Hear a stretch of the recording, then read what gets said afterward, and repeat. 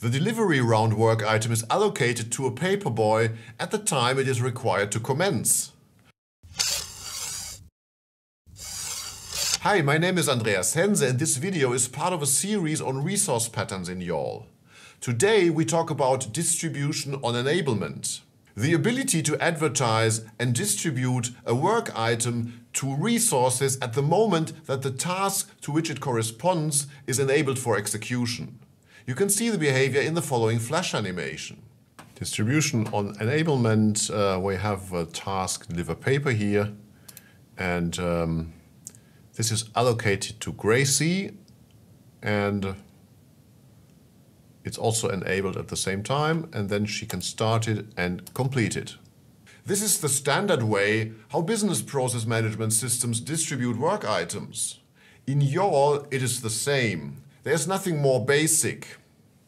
So here we have uh, the YAWL administrator and um, we have also George and Gracie and the workflow specification deliver paper. And we start a case now. And um, if we go to the admin work list this is now allocated to Gracie and she can immediately start the work item completed and then we're done.